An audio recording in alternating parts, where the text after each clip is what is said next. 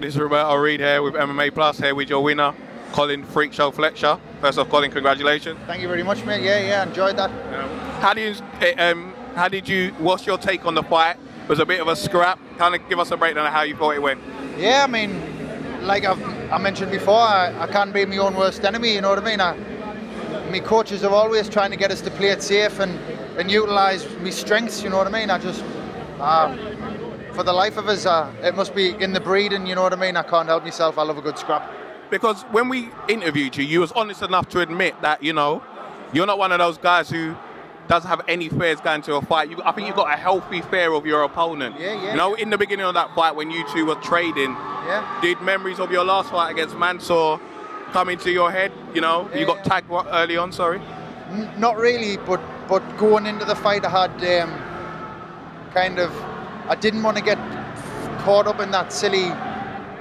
It, it's too fun. To, it's too much fun to get caught, brought, caught into a fight like you used to have when you were a kid. You know what I mean? You, we, we all we all had them at school where you kind of just fighting each other to the death. You know what I mean? And that's what me and Mansour did. You know what I mean? We stood toe to toe and just swung our hands about. You know what I mean? So with that in my mind, I did. I was trying to be more elusive. You know what I mean? I knew Tony had a very like a kind of karate style, and he and, and he did. You know what I mean? Which kind of kept me at my range, and I was trying to pick my shots. And uh, I think I did reasonably well, and that was in my head a little bit. You know what I mean? There were times when I thought maybe the best thing for me to do would be to take this guy down and look to submit him or look to put some elbows into him. But like I said, I was having too much fun. He seemed a very durable opponent. Yeah, um, did you know? Sometimes you seem to be staggering him, but he seemed to come back very well. Yeah, did that, you know, ever dishearten you during the course I of the fight? I landed body shots on him and I seen him wince, you know what I mean? I, I rocked him a few times, he rocked me back, you know what I mean? He cut me head, which I kind of was a little bit disappointed in because sometimes cuts and things can make a big factor in judges scoring, but I'm I'm just happy um, that it went my way on the night, you know what I mean? And I enjoyed the fight and You kind of talked about, you know, your coach and um, some of your team talking about you playing it safe. Yeah. You know, you're well known for your ground game. You know, we haven't really seen it in a while. Yeah. Was there any ever thoughts of taking it down and trying to get the sub? Yeah, always. I mean, I hit him with a solid knee, and um, instinctively, my next move was to fake the knee and shoot for a takedown. But um, for the life of us, me, me brain just wanted to continue fighting. So, uh, what can I say? I tend to get more of my submissions when somebody tries to take me down.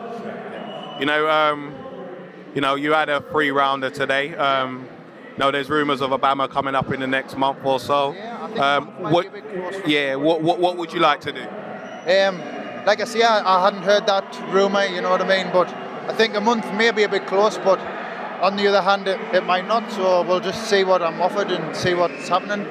And really, in, in terms of Mansour, you know, how much closer do you think you are to a rematch with him? Um, I mean, I, I was kind of told if I won one, I would get a rematch, you know what I mean? But I'm not the kind of person who's going to kind of be adamant that I want a rematch. I think it can come across as quite rude, you know what I mean? I've got the utmost respect for the man, which is why I'd like to fight him again. But um, I'll just see what I'm offered and see what's on the table, you know what I mean? I'm enjoying fighting at the moment, so whoever, whatever, we'll, we'll, we'll have a look and we'll decide. Because we've got the freak show, old freak show back there. Everyone I'm having loves, fun. you know. I'm having fun. Yeah, yeah. Yeah. Juan, is there anyone you'd like to thank? everybody, you know what I mean? The guys who've supported us for for seven years plus, you know what I mean? And they're still with us today, they're still backers. But um, the fans as well, you know what I mean? People, I always get a fantastic response for what I do. Um, there was a point in time where I kind of felt like um, I was being silly and kind of, kind of, it was pointed out to us, you know what I mean? And that kind of has tailed off. So I'm happy again. I'm, I'm having fun with my life and it's good to be me. Brilliant. Well, congratulations, Colin. you. Well done. The Shabbat Rude here with Colin Fletcher. Well done. Thank you.